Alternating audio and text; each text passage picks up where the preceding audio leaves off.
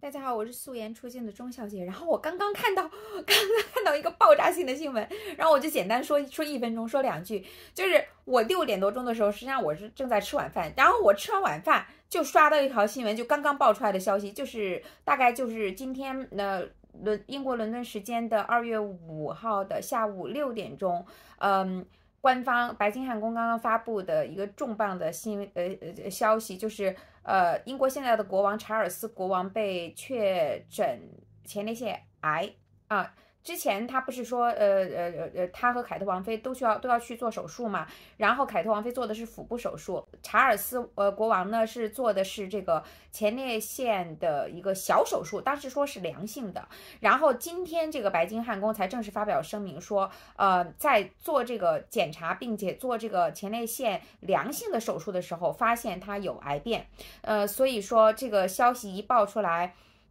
呃啊。我为什么这么惊讶？是因为，呃，是因为是这样子的，就是去年英国的这个预言家，这个灵媒叫 Park 的，呃，这个预言家，他一直都预言非常准的啊，呃，然后呢，他去年二零二三年的时候，我就看过他的视频，他当时就说，他说英国的皇室呢，呃，查尔斯呃王子继位以后呢，会将会在他就是还没有去世的时候，就是会会在查尔斯国王在世的时候，就把这个王位，呃。嗯，就是传，呃，传给他威廉王子。当时我就觉得很奇怪，你知道吗？因为。你想想看，英国女王做了六十多年的女王，就就做到她都九十多岁了，然后去世了，然后查尔斯才继承的王位嘛。那么就是说，你如果没有看到今天的这个消息的话，就是我们大家就都会想不明白，为什么查尔斯国王会在他还没有去世，就是还还在世的时候，会把王位传给他的儿子呢？就是这不符合那个就是继位的那个规，嗯呃，一般来说的规定。当然，我们也都知道，就是今年的。一月初的时候呢，丹麦的那个女王也把她的这个王位，她已经八十多岁了，呃呃，传给了她的长子。那么呢，丹丹麦女王当时呢，是因为她去年二零二三年的她背部受伤，然后做了一个手术，然后那之后她就觉得，哎呀。他身体也不行了，本本来也八十多岁的老人了嘛，他就他就决定要这个就是好好休息一下，就把王位传给他的儿子了。其实其实这个倒倒也可以理解，真的像英国女王那样超长待机的君主真的是非常非常少见。英国女王伊丽莎白女王二世真的是鞠鞠躬尽瘁啊，蜡炬成灰泪始干啊。但是就是说去年我们看到这个英国这个里面 Park 的这个预言的时候，我是我个人我我是完全不不能理解的，我就不明白为什么，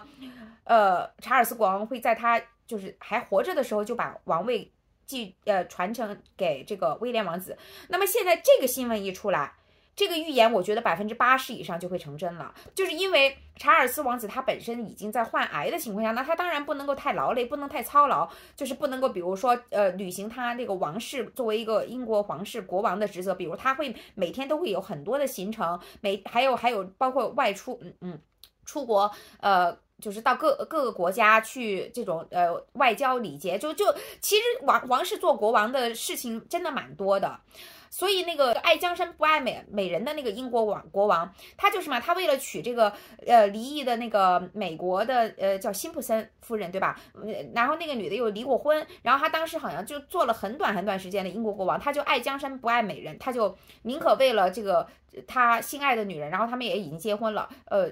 来放弃了英国王位，这样呢，这个呃伊丽莎白二世这个女王的爸爸呢才继承了，